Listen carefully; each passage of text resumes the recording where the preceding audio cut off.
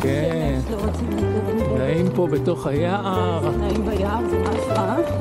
איזה כיף.